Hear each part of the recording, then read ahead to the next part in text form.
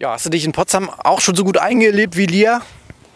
Ja, ich weiß nicht, was Lia so sagt, aber ich habe mich sehr gut eingelebt. Ich glaube, ich wurde gut aufgenommen von der Mannschaft und ja, für mich bisher die zweieinhalb Wochen jetzt sehr wohl hier. Sonne scheint jeden Tag, das macht es alles ein bisschen leichter. Manchmal ist es fast ein bisschen zu heiß, aber ja, es macht Spaß und ist natürlich auch sehr anstrengend.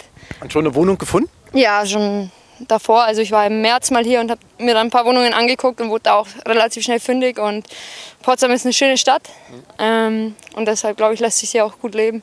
Auch ein teures Pflaster, aber gut, wenn man aus München kommt, geht's. Ne?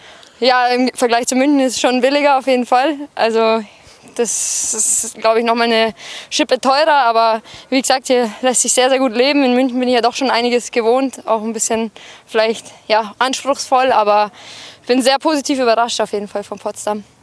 Ja, auch vom Training. Ihr müsst ja dreimal am Tag in der Regel trainieren und dann bei dieser Hitze.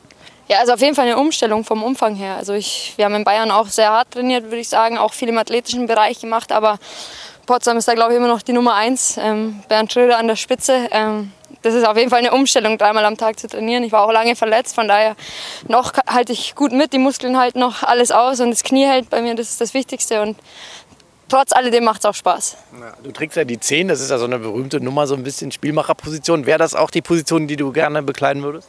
Ja, zumindest habe ich die in der Vergangenheit auch immer gespielt und sehe mich da auch ja, am stärksten. Ich denke, dass mich ähm, der Trainer auch auf der Position sieht. Ähm, wir haben jetzt noch einige Testspiele, hatten bisher noch keins und da denke ich, wird, man, wird sich dann auch herausstellen, wo ich dann meine Position einnehme im Team. Und ja, mir geht es natürlich auch darum, dass ich auch in die erste Elf dann rück. Das ist mein Anspruch, ja. Mhm.